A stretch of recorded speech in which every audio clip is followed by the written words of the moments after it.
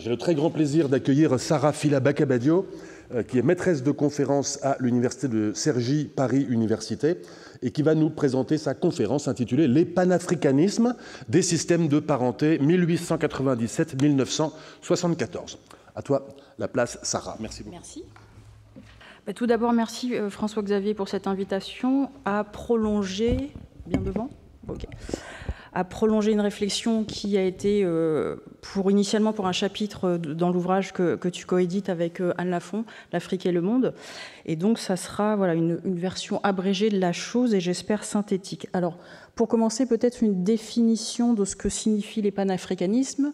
Cette définition est la mienne, c'est-à-dire euh, que pour moi, les panafricanismes sont à la fois des solidarités politiques et pas simplement politiques, artistiques, intellectuelles, entre les peuples africains et afrodescendants et quelles formes ils forment et sont formés par des appartenances africaines et afrodescendantes croisées. Et c'est l'un des aspects de ce que je vais dire, c'est-à-dire que tout est lié aux circulations et aux connexions entre ces personnes et des rencontres transatlantiques.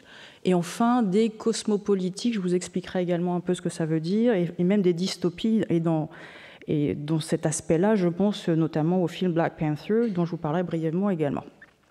Deux choses, euh, deux précautions euh, en préalable de ce que je vais dire, euh, qui sont peut-être des interrogations pour vous et qui étaient les miennes avant d'écrire ce chapitre. La première était, quand on m'a demandé d'écrire ce chapitre, c'est que vais-je pouvoir dire de plus qui n'a pas déjà été écrit? Parce que la littérature sur le sujet est dense, très large, développée à la fois en anglais et en français par des historiens extrêmement pointus sur le sujet.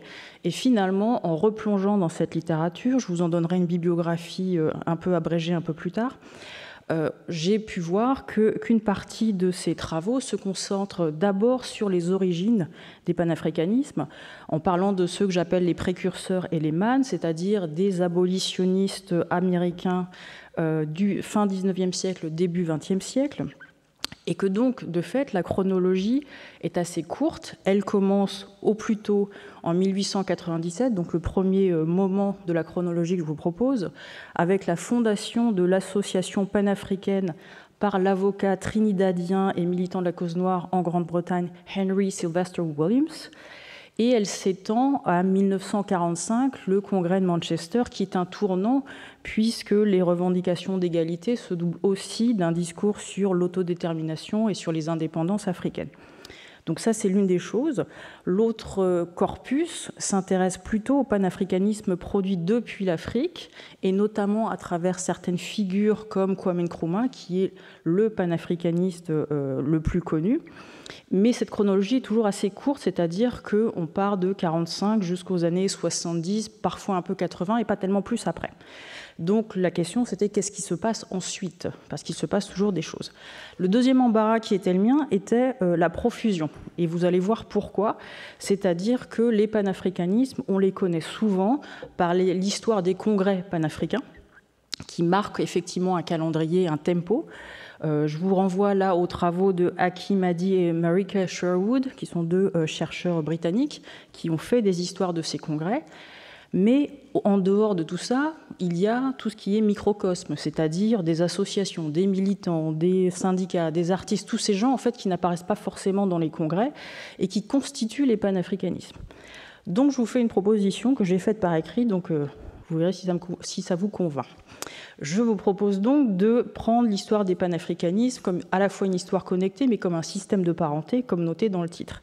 Et mon point de départ est un point de départ africain, puisque c'est de ça qu'il s'agit finalement. Dans beaucoup de sociétés africaines, dont celle dans laquelle j'ai vécu, euh, les, les, individus sont identifiés par leur lignage. On est le fils de, la fille de, on vient de telle ou telle ethnie, du village, de la famille X, etc. Et chaque naissance, chaque union est une extension, une ramification de ce système de parenté. Et finalement, les panafricanistes se sont construits de la même manière. C'est-à-dire qu'on a différentes générations, on a différents embranchements, comme les rhizomes d'un même plan, qui sont à la fois très spécifiques, mais à la fois très liés par une seule idée qui est faire ensemble entre Africains et Afro-descendants. Alors je vous propose un plan au prorata par cinq lignages, et c'est pour ça que je dis que je vais essayer d'être synthétique. Euh, donc le premier lignage, pour vous euh, expliquer, et donc le lignage territorial qui est lié aux précurseurs,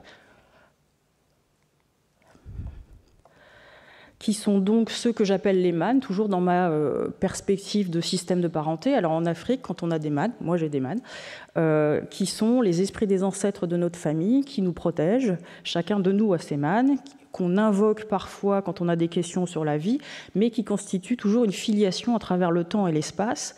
Et finalement, les panafricanismes ont aussi leurs mânes, qui sont des précurseurs euh, ou appelés précurseurs, qui sont ces abolitionnistes et militants antiracistes états-uniens et caribéens qui, entre le milieu du XIXe siècle et le début du XXe siècle, développent la question du retour vers l'Afrique.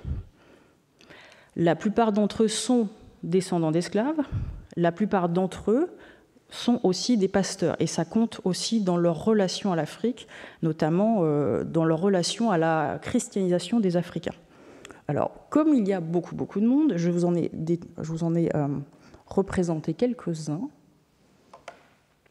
Voilà les principaux. Donc vous avez Martin Delaney, dont je vais parler dans un instant, Henry Highland Garland, dont je vais parler aussi, puisqu'il est président d'une société d'émigration vers l'Afrique, Alexander Crummell, qui était pasteur également et qui a beaucoup œuvré à la christianisation des populations autochtones, Edward Wilmot Blyden, qui a aussi intégré la politique euh, au Liberia, W.E.B. Du Bois, dont je vais vous parler également, puisqu'il est la figure marquante du mouvement panafricain euh, du début du XXe siècle, et Marcus Garvey, qui est aussi une figure marquante du début du XXe siècle. Une précision. Les panafricanistes de cette première vague ne cherchent pas à fonder une idéologie d'émancipation globale. Leur propos n'est pas de s'engager dans une co-construction avec les Africains d'une idéologie ensemble. Ce qu'ils cherchent, c'est inventer un nouvel horizon, s'échapper des États-Unis et trouver un lieu où les Noirs pourraient vivre libres et de facto autonomes. Et Martin Delaney, qui écrit euh, un essai, euh, euh, si je me souviens bien, en 1862, le dit très clairement, il dit il faut partir. Et pour lui, partir n'est pas un exil, c'est choisir un lieu à soi pour soi. Et il explique pourquoi. Il dit les États-Unis ne changeront jamais pour deux raisons principales. La première est l'esclavage racial y est une institution particulière. Et là, je vous renvoie au travail de Peter Colchin, euh, qui parle justement de l'esclavage comme une institution particulière pour expliquer que l'esclavage fait partie de la fabrique de la nation américaine depuis ses débuts et qu'elle fait partie d'une économie politique, sociale depuis plus d'un siècle et Delaney dit voilà, on est, c'est tellement ancré dans l'histoire de ce pays que la chose ne changera pas. La deuxième raison est connexe. Il explique que les Américains de couleur, qu'ils soient libres ou euh, esclaves, subissent, subissent une politique de dégradation à la fois physique, sociale, politique, culturelle et littéralement finalement humaine et que cette politique de dégradation est en contradiction avec les principes fondateurs de la démocratie américaine, fondés, comme est noté dans la Constitution des États-Unis, sur la liberté, la justice et le bien commun, qui est une extension de la Déclaration d'indépendance où chacun a le droit de poursuivre ou euh, pursuit of happiness, donc euh, rechercher le bonheur. Donc Delaney et ses comparses considère que ce lieu ne sera jamais le lieu de l'homme noir, comme dans quelques années plus tard, euh, Malcolm X dira aussi la même chose, les États-Unis ne sont pas la terre de l'homme noir, ne le deviendront jamais. Il y a aussi des raisons contextuelles, c'est-à-dire que pendant cette période où euh, évoluent les précurseurs, les États-Unis glissent inexorablement vers la rupture majeure de leur histoire, qui est la guerre de sécession, qui a donc lieu entre 1861 et 1865. Et la raison de la guerre de sécession, la raison profonde, c'est l'esclavage et l'équilibre entre les États esclavagistes et les États euh, dits libres. Et c'est aussi un moment de fait où la présence des libres de couleur pose problème, puisqu'ils peuvent jouer sur les équilibres politiques entre ces États libres et ces États euh, esclavagistes. Et la question de l'exil des Noirs vers l'Afrique se pose de deux voies. L'une des voies est portée par euh, euh, des, organisations philanthropiques blanches, plutôt pro-esclavage, à l'instar de l'American American Colonization euh, Society, qui donc lance un programme de déportation, c'est le mot utilisé, des Noirs affranchis en Afrique. Elle envoie près de 12 000 anciens esclaves au Liberia entre 1820 et 1867.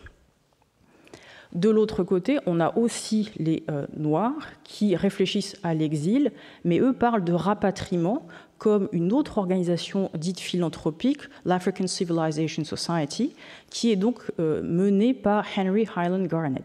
Et l'idée là, argument, c'est euh, le retour à la terre-mère et refaire la boucle d'une histoire qui a été interrompue par l'esclavage. Donc ils cherchent, ils écrivent, ils cherchent, ils font des discours, ils, se disputent, ils font des expéditions aussi dans différents endroits pour savoir quel lieu serait le meilleur pour installer une nation noire. Ils sont tous d'accord sur la question de la nation noire, mais pas du tout sur le lieu. Si une bonne partie considère que l'Afrique est le lieu logique et légitime pour s'installer, c'est pas le cas, ça n'est pas le cas pour une autre partie qui pense que des tiers-lieux peuvent faire l'affaire. Et certains auteurs, dont Delany, évoquent des lieux comme le Canada, qui a accueilli des esclaves en fuite, Haïti, puisque ça a été la première république noire euh, du monde, mais aussi la côte des moustiques, qui est sur le littoral du Nicaragua, parce que c'est un protectorat britannique et que, par exemple, Delany explique qu'à défaut, ça ferait l'affaire, que euh, au moins ce ne sont pas les États-Unis, mais aussi la Grenade, la Jamaïque et d'autres lieux de la Caraïbe. La plupart de ces projets sont financièrement irréalisables et assez peu convaincants pour les Africains américains, ce qui fait que ça n'a pas beaucoup d'effet. Le programme ou la proposition qui a le plus d'effet est celle de Marcus Garvey, donc fondateur de l'organisation qui s'appelle Universal Negro Improvement Association, qui est une, association séparatiste de défense et d'entraide aussi noire. Lui est un fervent défenseur du retour massif des afrodescendants en Afrique où il espère fonder une république d'Afrique qui aurait les dimensions du continent et dont il se propose d'être le premier président euh, temporaire. Il fonde une compagnie maritime destinée à organiser cette migration et il achète trois bateaux pour le faire. Alors comme vous voyez au, prorata des euh, dates de la compagnie, elle n'a pas fait long feu puisqu'il a eu des problèmes financiers et fin de l'aventure. Et puis il avait aussi des problèmes politiques avec l'État américain. Mais bon, ces panafricanismes ont développé, euh, ont fait émerger quatre lieux d'implantation et de référence. Je vais essayer d'être brève. Le premier lieu est la Sierra Leone et semble assez logique dans la mesure où c'est une colonie britannique fondée en 1787 et qui a déjà reçu plusieurs vagues d'esclaves déportés et plusieurs panafricains y sont déjà allés ou se sont déjà installés dans cet endroit comme Blyden. Donc ça paraît une destination logique. Mais les débats continuent, ils ne sont toujours pas d'accord, il faut une nouvelle, nouvelle implantation. Le deuxième lieu qui apparaît est finalement le Liberia, cette colonie euh, fondée sous l'impulsion de l'American Colonization Society pour les anciens esclaves, qui devient un État indépendant en 1847 et qui est pensé pour être par et pour ce qu'on appelle les returnees, donc les retournés. L'une des spécificités de ce lieu, c'est que euh, les, les retournés reproduisent des institutions et des formes américaines, c'est-à-dire qu'ils ne rompent pas totalement avec les États-Unis. Ils reproduisent les institutions Congrès, Cour suprême, y compris le drapeau que vous avez là, euh, et aussi une économie qui est fondée sur la culture du coton, la culture du sucre, du café, qui est produite par des populations autochtones et aussi des returnees beaucoup plus pauvres ce qui crée des conflits dont on voit aussi les traces jusqu'à présent. La spécificité de ce moment-là aussi, c'est que ces panafricains, Blyden, Cromwell et autres, ne voient pas du tout ce qui se passe autour. Ce qui est assez surprenant. Quand on lit les archives et quand on lit ce qu'ils écrivent, eux ont un objectif, c'est fonder un monde noir dans cet espace-là, euh, montrer que les Noirs peuvent faire civilisation et sont capables d'être euh, au premier plan du monde, et placer les Africains américains au devant de ce mouvement, car ils pensent qu'ils ont acquis la civilisation aux États-Unis, même si euh, cela a été fait par la férule, et qu'ils peuvent donc contribuer non seulement au progrès et à l'élévation de la race, comme on disait à l'époque, mais la mener. Et pour cette raison, un certain nombre d'entre eux s'engagent dans euh, la vie politique du Liberia, notamment Blyden qui devient un diplomate et qui va se présenter à l'une des élections présidentielles euh, un peu plus tard. Donc ça, ce sont les lieux où ils peuvent migrer. Il y a deux lieux de référence où la migration n'est pas véritablement envisagée, mais c'est impossible. Et ce sont l'Égypte et l'Éthiopie. Pourquoi? C'est lié à un verset de la Bible que la plupart des afro-descendants des Amériques qui ont appris à travers leur christianisation forcée, ce verset qui dit Des princes sortiront d'Égypte et l'Éthiopie tiendra bientôt ses bras vers Dieu. C'est, pour un certain nombre de ces anciens esclaves, l'annonce d'une prophétie d'un retour, c'est une prophétie d'un retour réel ou mythique en Afrique et aussi d'une grandeur noire qui a existé et qu'il serait possible de rebâtir en revenant en Afrique. Donc les panafricanistes de cette époque développent des idéologies, des philosophies de réactivation de cette grandeur noire par des philosophies qui s'appellent civilisationnistes, donc être porteur et premier dans la construction de la civilisation, messianique, éthiopianiste également.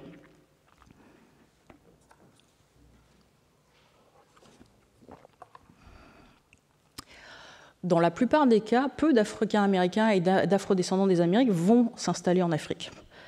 Une exception notoire est celle de, euh, des Rastas en 1955 en Éthiopie, puisque euh, le Ras Tafari Makonnen, donc Ras qui est donc le titre seigneurial éthiopien, donc Tafari Makonnen devient empereur d'Éthiopie entre 1930 et 1974 sous le nom de Haile Selassie Ier et il autorise une communauté Rastafari à s'installer en Éthiopie pour y créer une enclave qui s'appelle Chachamane.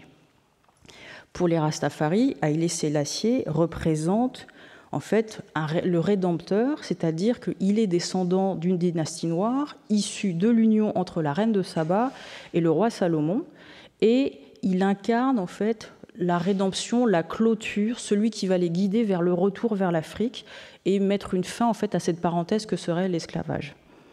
Ça, c'est une, des rares exceptions. Deuxième lignage, les réseaux humains. Une bonne partie de l'histoire des panafricanistes se construit par des relations, des, rencontres, des euh, associations, parfois aussi des disputes. Et le commun est qu'ils se reconnaissent en tant que noirs, afro, colonisés, discriminés, et ils cherchent à partir de ça à former une émancipation globale. Et le premier moment est effectivement cette date de 1897 avec la création de l'association africaine.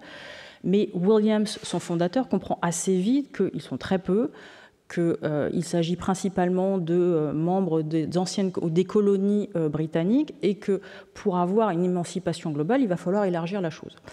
Et donc la chose se produit par une conférence en 1900 que l'association organise et où viennent d'autres personnes venues d'autres territoires. Et là, on a le vrai moment d'une structuration d'un mouvement panafricain où là, pour cette fois, Africains et Afro-descendants ont contribué à l'organisation de cette conférence. Ils l'ont fait ensemble. Sont présents simplement 38 délégués, parce que tout le monde ne peut pas, pour des raisons à la fois financières et à la fois d'autorisation de sortie, euh, notamment aux États-Unis il y a peu de femmes, c'est une femme qui vous le dit, euh, qui s'occupent euh, de certaines thématiques, notamment d'éducation. De, Mais l'intérêt, c'est que à la fois le centre de gravité qui était initialement aux États-Unis avec un regard vers l'Afrique se déplace en Europe et il se déplacera ensuite en Afrique.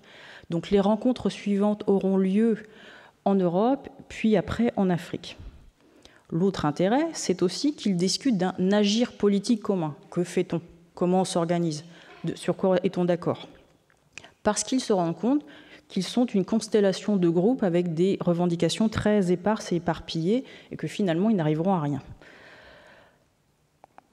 C'est la première fois que le mot panafricain est prononcé et apparaît dans les archives, c'est-à-dire que le socle de leur lutte contre l'impérialisme, l'anticolonialisme contre le, colonialisme, l'impérialisme et le racisme devient synthétisé par ce terme panafricain pour la première fois. L'un des invités s'appelle W.E.B. Du Bois. Pardon. Il est la figure montante de l'histoire intellectuelle et politique aux États-Unis. Il est le premier noir à avoir obtenu un doctorat à l'université de Harvard. Il est militant antiraciste, aussi bientôt cofondateur de la plus grande organisation antiraciste aux États-Unis jusqu'à nos jours, la National Association for the Advancement of Colored People.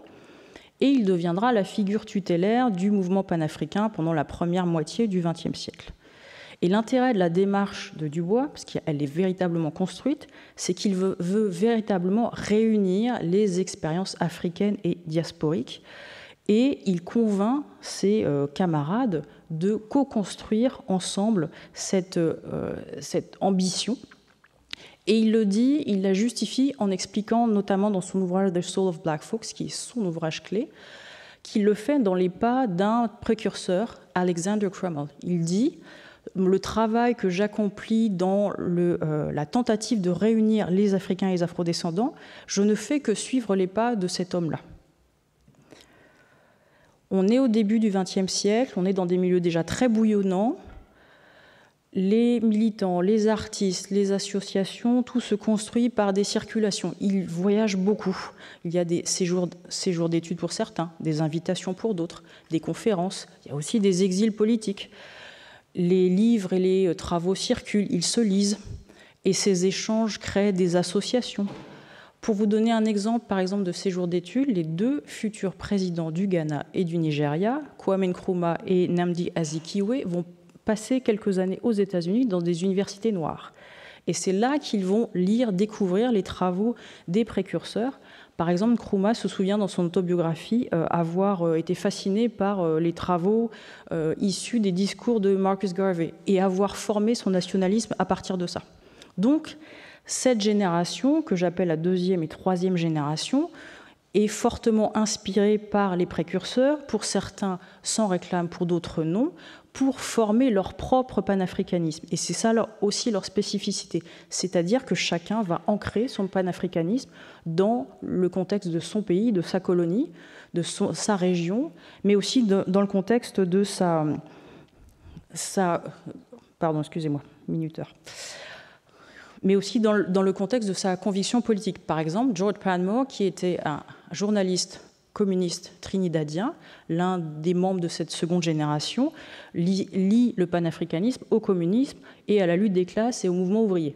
Il n'est pas d'accord avec d'autres sur ce point-là, mais il arrive à articuler la chose de cette manière-là.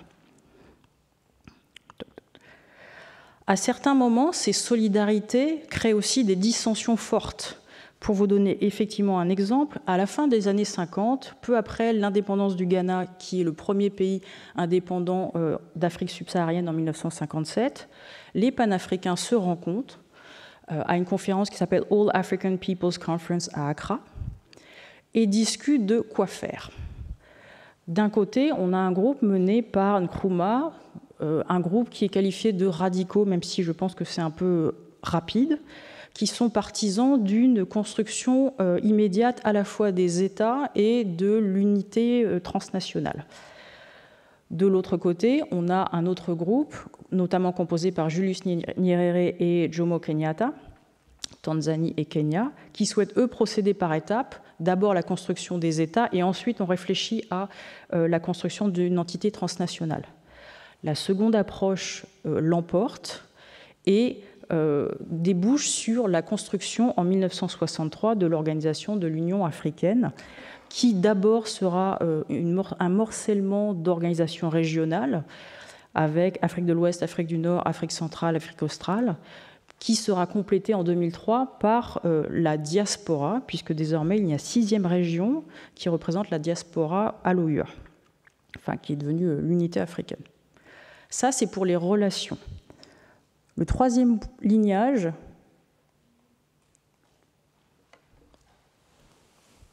ce sont les congrès, les fameux congrès. Il y en a eu neuf. Et là aussi, on voit apparaître, toujours dans les archives, euh, la trace des précurseurs et des différentes générations. On voit, par exemple, Dubois être à la manœuvre entre 1900 et 1945, alors surtout au début, en 1919 et en 1921. Il organise le congrès euh, panafricain avec les députés Blaise Diagne et Candace Gratien. puis il se joint aux équipes organisatrices des congrès suivants. Il est toujours là, peut-être au point d'agacer d'autres. et l'idée, c'est, je crois que oui, et l'idée, c'est de créer un nouvel ordre mondial depuis les expériences africaines euh, noires et colonisées. C'est-à-dire que à ce moment-là, les panafricanistes décident qu'ils ne pourront plus développer un discours de petits groupes vers un État, vers un gouvernement, les Africains américains euh, faisant des demandes à l'État américain, euh, les colonisés faisant des demandes à la métropole de leur État colonial. Ils se disent qu'il faut changer de braquet, changer de posture, et représenter une organisation internationale qui ferait des demandes et qui imposerait des contraintes à ces États, euh, notamment par l'intermédiaire d'une association qu'il crée, qui s'appelle l'Association panafricaine, pardon, je vais pas assez vite en diapo, l'Association panafricaine, qui est créée en 1921 et qui doit être l'interface pour les panafricains pour demander euh, euh, des soutiens, des en bref, tordre le bras au, gouvernement et inciter les organisations internationales à les soutenir. Une bonne partie des histoires euh, du panafricanisme s'arrête à la fois soit en 1945 avec ce tournant, soit un peu plus tard en 1963 avec la création de l'organisation de l'unité africaine. Comme si à la fois les indépendances africaines et la création de cette organisation transnationale était en fait l'accomplissement de tout un combat panafricain. Et en fait, ça n'est pas réellement vrai. On peut comprendre la posture pour deux raisons. La première, c'est que effectivement, le Congrès Manchester est un tournant, et je vous explique. Il est organisé par deux Guyaniens, donc deux personnes venant du Guyana, Peter Millard et Rusty McConan, qui a donc repris le nom de premier nom de Haïlé Sélassié, qui sont tous deux euh, dirigeants du, de la fédération panafricaine qu'ils ont co-créée. Et ils rassemblent 200 délégués à Manchester, dont une bonne partie d'étudiants et de syndicalistes, ce qui est aussi une raison pour ce, ce tournant et cette énergie un peu différente et ils définissent une plateforme anticoloniale et aussi anticapitaliste. Et je vous montre pourquoi dans un extrait qui est euh, un extrait de la déclaration finale de la conférence que voici. Ils disent Nous ferons en sorte que le monde sache quelle est notre condition. Nous lutterons par tous les moyens afin d'obtenir la liberté, la démocratie et le bien-être social. Les délégués croient en la paix. Comment pourrait-il en être autrement lorsque, pendant des siècles, les peuples africains ont été victimes de la violence et de l'esclavage? Pourtant, si l'Occident reste déterminé à mener le monde par la force, alors les Africains en dernier recours pourraient, y avoir recours pour obtenir la liberté, et ce, même si la force les détruisait, eux et le monde. Colonisés du monde, unissez-vous.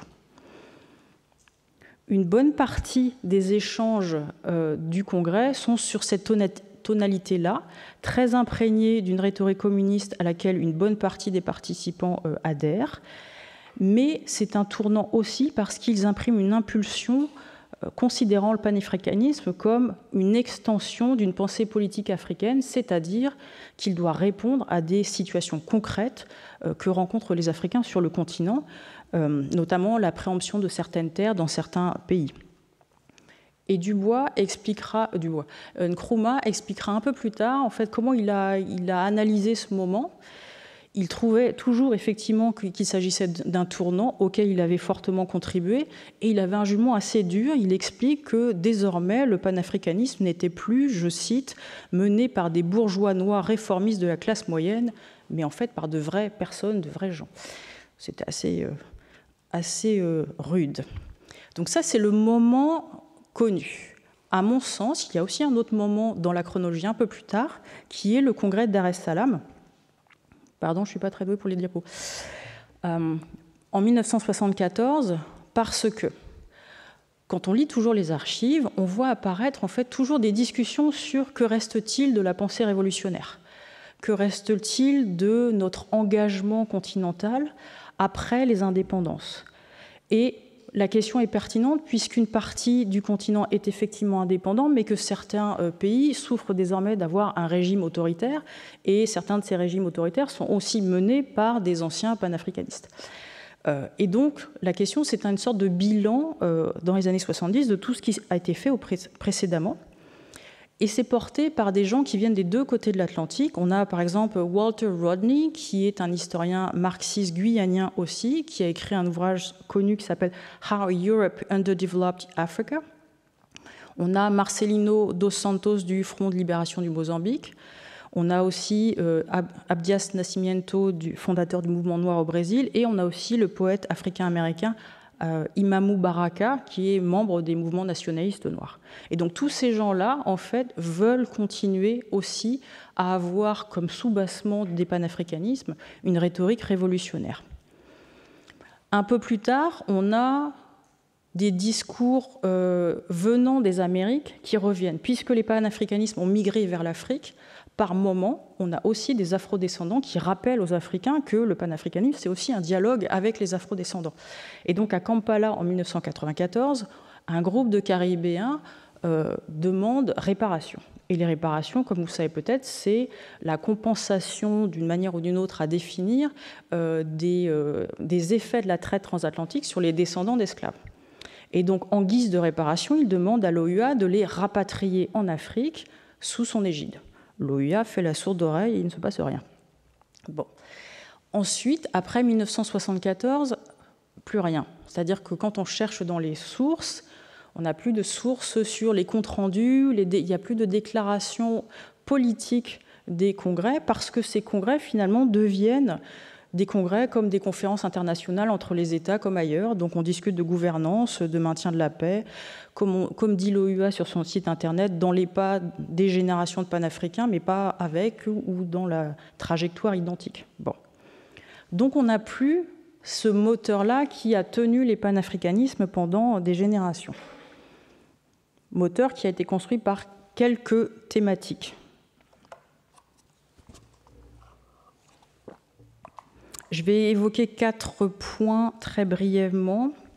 Aimé Césaire disait euh, dans les années 50 qu'il fallait liquider l'édifice colonial et qu'il fallait, euh, en un sens, excorier toutes les traces, toutes les rémanences du, pouvoir colonial dans les territoires africains, que ce soit de manière culturelle, sociale ou culturelle, et euh, en bref se débarrasser de toutes ces relations asymétriques qui sont imposées à l'Afrique.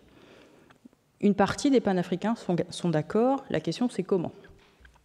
Dubois, quand il arrive en 1900 à Londres, a un début d'idée et il propose un concept qu'il a en gestation et qu'il va euh, euh, formaliser dans son livre The Soul of Black Folks en 1903. Il parle de la ligne de couleur. Il fait une prédiction et dit le problème du XXe siècle sera la ligne de couleur, c'est-à-dire la distinction des hommes suivant leur couleur de peau est une fragmentation profonde du monde que nous devons euh, discuter, analyser, déconstruire pour que le monde puisse avancer sous peine de réitérer constamment les mêmes erreurs. Aux Africains, aux Africains et aux Afrodescendants, il dit, nous, à notre niveau, pouvons utiliser notre expérience commune en tant que Noirs au monde pour créer des solidarités et penser une action collective. Il appelle ça pan-negroism, donc pan-négrisme. Cette idée est ensuite tirée par d'autres générations, notamment Alan Locke, qui est, contemporain, mais qui va se mettre à la question un peu plus tard, euh, mais aussi la négritude de Aimé Césaire et Léopold Sédar Sangor est aussi une extension de cette idée-là. Comment faire commun, comment utiliser notre expérience commune en tant que Noirs pour créer un mouvement, créer une action, créer un changement. Et finalement, c'est quelque chose qui est aussi une récurrence des mouvements panafricains, dans la mesure où cette idée est à l'origine d'associations comme la Fédération des, étudiants d'Afrique noire en France, la FEANF. On a aussi des revues comme la Revue du Monde Noir fondée par Paulette Nardal et Léo Sajou, mais aussi euh, la rencontre dont euh, vous avez peut-être déjà entendu parler, le premier congrès international des écrivains et artistes noirs qui a eu lieu en 1956, l'autre côté de la rue, à la Sorbonne. Et à ce moment-là, on a aussi une imbrication euh, nécessaire et assez logique entre panafricanisme, anticolonialisme et impérialisme. On est dans le contexte de ce qu'on appelle les Global 60s, donc les années 50-70, où le panafricanisme se fond, s'articule de plus en plus avec ces deux, euh, ces deux idéologies. dans l'idée de euh, défendre ceux qui ne veulent plus être à la périphérie d'un monde où l'Occident serait le centre.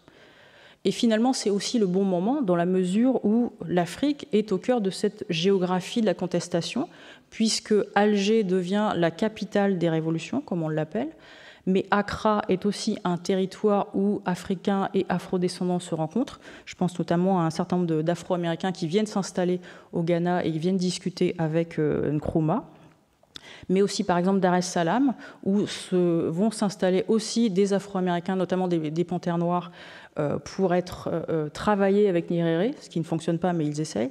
Et on a aussi des gens qui viennent de, des révolutionnaires latino-américains. On a aussi des membres de l'OLP palestinien, des membres du Front Libération vietnamien.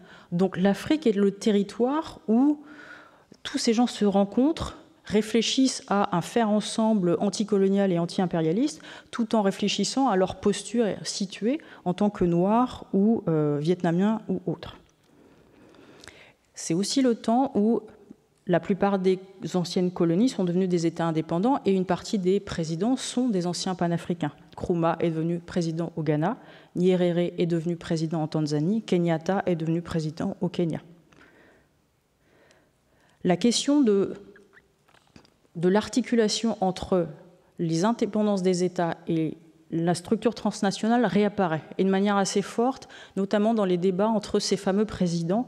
Je vous donne un exemple, il y a un extrait qui est disponible, je pense, toujours sur Internet, d'une conférence à Accra où Nkrumah fait un discours où il explique, euh, il défend son idée d'États-Unis d'Afrique, donc sur le modèle des États-Unis euh, d'Amérique. Il dit nous n'avons pas le choix. Je suis heureux d'avoir euh, acquis l'indépendance au Ghana, mais il faut que le continent entier acquiert l'indépendance, sinon ça ne vaut pas le coup. Devant lui, il y a Julius Nyerere, qui a l'air foncièrement barbé par le, discours et pas du tout convaincu. C'est-à-dire que lui se dit l'unité transnationale, j'en veux bien, mais je préfère une idée plutôt de Commonwealth of Nations, donc une autre fédération un peu plus souple qui euh, permettrait une certaine autonomie. Et en fait, cette question-là va durer pendant un certain nombre de décennies et va finalement s'éteindre toute seule euh, au fil des congrès panafricains un peu plus institutionnalisés. On a aussi en arrière-plan les socialismes africains, qui sont une particularité euh, aussi, c'est-à-dire que dans le contexte de la guerre froide, les nouveaux États sont pris en étau entre l'Occident et l'Union soviétique, et un certain nombre de ces dirigeants choisissent de se rapprocher de l'Union soviétique, notamment parce qu'il a été euh, un soutien de longue date de leur lutte, mais ils créent leur socialisme, qui sont des hybridations africaines de socialisme soviétique, cubain, chinois, et qu'ils articulent à la fois avec du nationalisme, l'anti-impérialisme et des références à une organisation de la société traditionnelle africaine, donc, euh, avec des variabilités euh, euh, individuelles fondées sur la communauté. Et chacun de ces leaders a sa version, son socialisme, sa théorie. Kenyatta parle de Harambe, donc le développement par l'action commune. Nkrumah a le consciencisme. Dans le même temps, d'autres leaders décident que ces socialismes ne sont pas la solution pour l'autonomie, mais partent vers euh, un marxisme-léninisme euh, euh, très, rigoureux, comme par exemple au Congo-Brazzaville, au Mozambique, en Angola, où ils forment des républiques populaires sur le modèle des républiques populaires qu'on trouve ailleurs. La formation de ces socialismes africains, qui sont en fait des versions éclatées, chacun a sa version, associant panafricanisme, anticolonialisme, nationalisme, fait que le commun du panafricanisme disparaît progressivement. Ils se posent la question de qu'est-ce qu'ils ont en fait à faire ensemble au-delà des congrès comme des présidents d'États indépendants.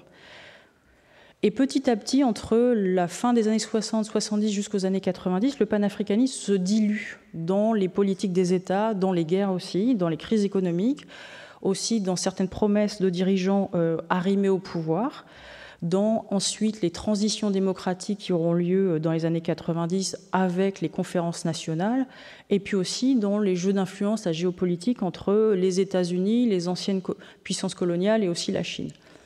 Donc on n'a plus d'unité, d'intention réelle. Ce qui les tenait ensemble était l'idéologie et ils ne l'ont plus au fil du temps et ils n'ont pas forcément envie de l'avoir.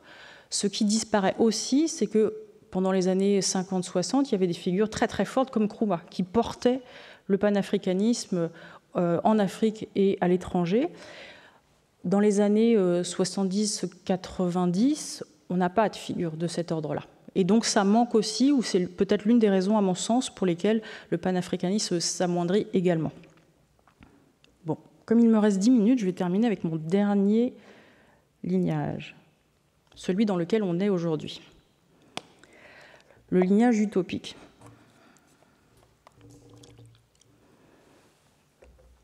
Alors, je suis partie d'une réflexion qui, était, euh, qui est partagée par beaucoup de gens et qui finalement est une réflexion ouverte qu'on peut partager après.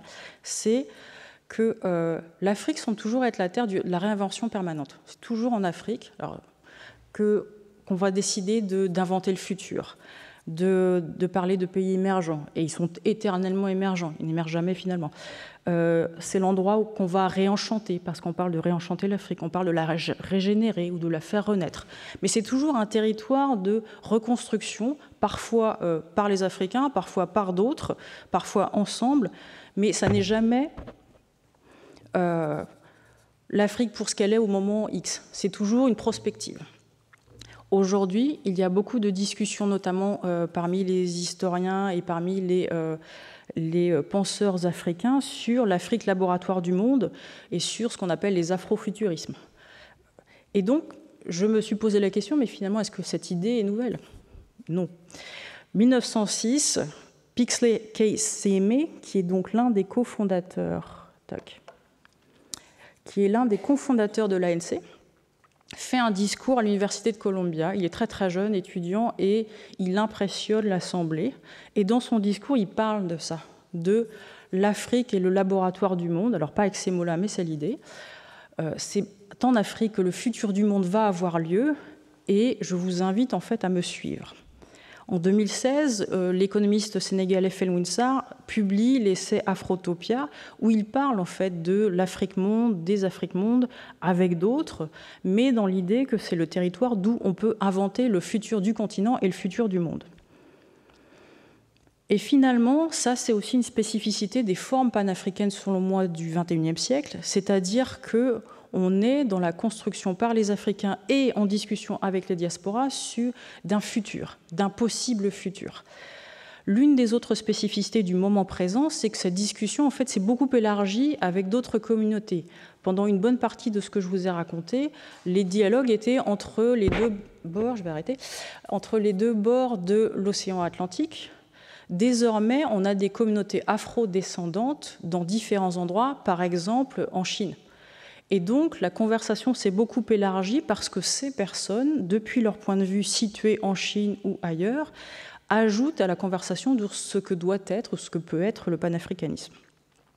Et ils discutent aussi des motifs qui sont typiquement panafricains, euh, l'eurocentrisme, l'universalisme, la place de l'Afrique dans le monde, la grandeur noire. Donc on revoit des thématiques exposées préalablement, rebrassées, mais d'un point de vue situé ailleurs.